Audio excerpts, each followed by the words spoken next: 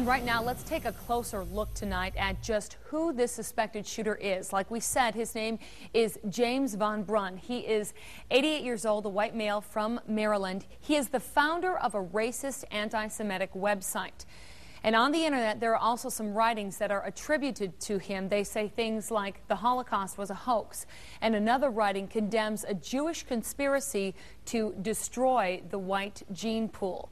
Von Brunn was a member of the U.S. Naval Reserves during World War II. He also wrote, but never published, a book called Kill the Best Gentile. It accuses Jews, blacks, and the Rockefeller family of trying to enslave the white race.